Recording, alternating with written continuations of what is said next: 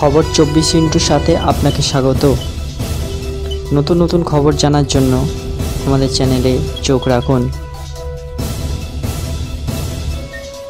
নমস্কার, খবর চব্বিশ ইন্টুর সাথে আপনাদের স্বাগত।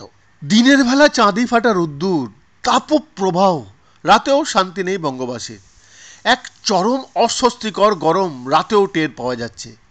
আগামী কয়েকদিনও গোটা দক্ষিণবঙ্গ জুড়ে তাপপ্রবাহ চলবে একইভাবে। আজ কলকাতায় দিনের সর্বোচ্চ তাপমাত্রা উঠে গিয়েছিল তেতাল্লিশ ডিগ্রির ঘরে। দক্ষিণবঙ্গের আরও একাধিক শহরে তাপমাত্রার পারও চল্লিশ ডিগ্রির উপরে ছিল, তবে এর মধ্যেই এলো বৃষ্টির সুখবর। রাতেই নামছে বৃষ্টি। হাওয়া অফিস থেকে পূর্বাভাস দেওয়া হয়েছে, আগামী দু তিন ঘণ্টার মধ্যেই বৃষ্টি নামতে পারে। দক্ষিণ চব্বিশ পরগনা জেলায় জেলা জুড়ে বিক্ষিপ্তভাবে হালকা থেকে মাঝারি বৃষ্টির পূর্বাভাস দেওয়া হয়েছে হাওয়া অফিসের তরফ থেকে। এই তীব্র দাবদাহের পরিস্থিতিতে নাজেহাল বঙ্গবাসী এরই মধ্যে দক্ষিণ চব্বিশ পরগনায় খনিকে স্বস্তি কি দিতে পারবে? রাতের বৃষ্টি। আজ বিকালে দক্ষিণবঙ্গের আরও এক জেলায় বৃষ্টি হয়েছে। পূর্ব মেদিনীপুরের ময়না, নন্দকুমার, মহিষাদল সহ বেশ কিছু জায়গায় বিক্ষিপ্তভাবে বৃষ্টি হয়েছে।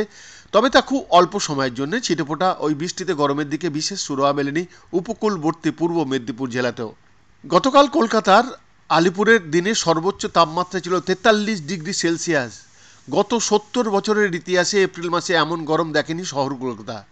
উনিশশো উনিশশো চুয়ান্ন সালের পর আবারও তেতাল্লিশ ডিগ্রির ঘরে মহানগরের পারদ এদিকে আজও দেশের উষ্ণতম শহর পশ্চিম মেদিনীপুরের কলাইকুণ্ডা। এই নিয়ে চলতি মরশুমে চারবার দেশের উষ্ণতম শহরের তালিকায় সবার শীর্ষে উঠে এলো পশ্চিম মেদিনীপুরের এই জনপদ। মঙ্গলবার কলাইকুণ্ডায় দিনের সর্বোচ্চ তাপমাত্রা ছিল সাতচল্লিশ দশমিক দুই ডিগ্রি সেলসিয়াস। বৈদ্যনাথ দাসের রিপোর্ট খবর চব্বিশ ইন্টু সাত।